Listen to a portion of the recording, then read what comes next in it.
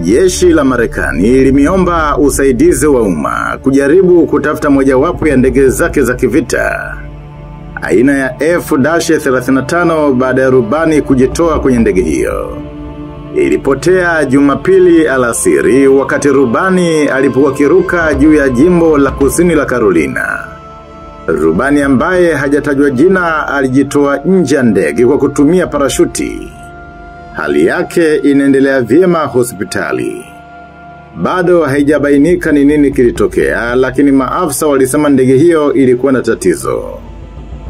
Walisema walikuwa wakitafuta ndege ya F-35B Lightning II karibu na maziwa mawili kaskazini mwa jiji la Charleston. Utafutaji katika ziwa Moultrie na ziwa Marion unafanywa na vidhibiti vya usafiri wa anga vya shirikisho. Joint Base Charleston alichapisha ombi lake la usaidizi kwenye X, ambayo zamani ilijulikana kama Twitter. Timu za kukabiliana na dharura bado zinajaribu kuitafuta F-35 ilisema. Umma unaombwa kushirikiana na mamlaka za kijeshi na kiraia wakati juhudi zinaendelea. Ilihimiza mtu yoyote aliye na maelezo ambayo yanaweza kusaidia timu zake za uokoaji kuwasiliana na kituo chake cha utendakazi. Jeshi la wanamaji lilisema katika taarifa kwa vyombo vya habari kwamba ufahamu wake kuhusu tukio hilo ni mdogo kwa sasa.